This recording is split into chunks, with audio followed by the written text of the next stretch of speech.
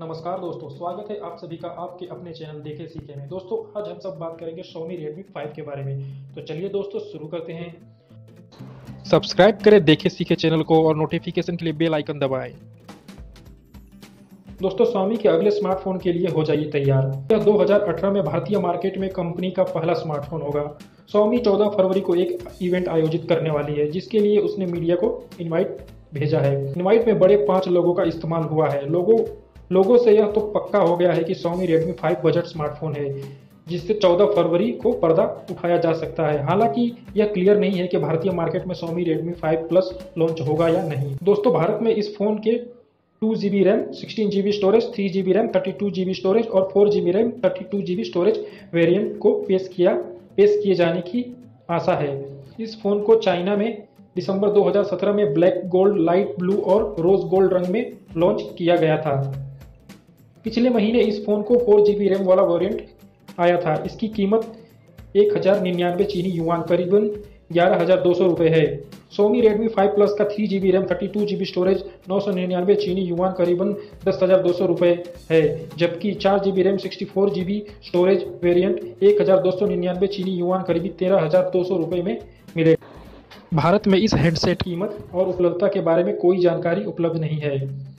Somi Redmi 5 के two G B RAM सोलह जी B storage की कीमत सात सौ निन्यानवे चीनी युआन करीबन आठ हज़ार एक सौ रुपये जबकि three G B RAM thirty two G B storage की कीमत आठ सौ निन्यानवे चीनी युआन करीबन नौ हज़ार एक सौ रुपये है।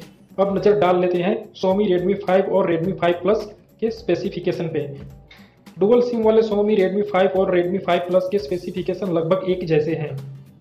रेडमी 5 में एक स्नैपड्रैगन 450 प्रोसेसर है जबकि रे, रेडमी 5 प्लस में एक स्नैपड्रैगन 625 प्रोसेसर दिया गया है। रेडमी 5 में टू जी व थ्री जी रैम जबकि रेडमी 5 प्लस में थ्री जी रैम व चार GB स्टोरेज मिलेगा। डुअल सिम वाले सोमी रेडमी 5 और रेडमी 5 प्लस में सभी स्पेसिफिकेशन लगभग एक जैसे ही हैं। रेडमी 5 में एक 5.7 inch H D seven hundred twenty into one four four zero pixel 18.9 display है, जबकि Redmi 5 Plus में एक 5.99 inch full H D ten eighty into two one six zero pixel 18.9 display है। दोनों स्मार्टफ़ोन में एक जैसा कैमरा है, दोनों फ़ोन में 12 मेगापिक्सल रियर कैमरा है, जो 1.25 माइक्रो माइक्रोन पिक्सल सेंसर और फ्लैश के साथ आता है। फ़ोन में आगे की तरफ़ सॉफ्ट लाइन फ्लैश मॉड्यूल के साथ 5 मेगापिक्सल फ्रंट कैमरा दिया गया है। कंपनी फ़ोन में ब्यूटीफाई 3.0 ऐप की जमकर तारीफ़ कर रही है। इसके ज़रिए प्रोटोन इमेज को बेहतर करने का दावा किया गया है।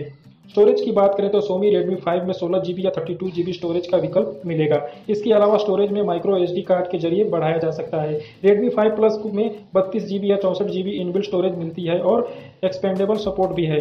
5 में एक तैंतीस सौ की बैटरी है, जबकि रेडमी फाइव प्लस में चार हज़ार की बैटरी है। तो दोस्तों, आशा करता हूँ आज की हमारी वीडियो आपको पसंद आई होगी। अगर पसंद आई हो तो हमारे चैनल को सब्सक्राइब करें, हमारे इस वीडियो को लाइक करें। वीडियो देखने के लिए बहुत बहुत धन्यवाद। आपका दिन शुभ रहे। सब्सक्राइब करें देखें सीखे चैनल को और नोटिफिकेशन के लिए बेल आइकन दबाएँ।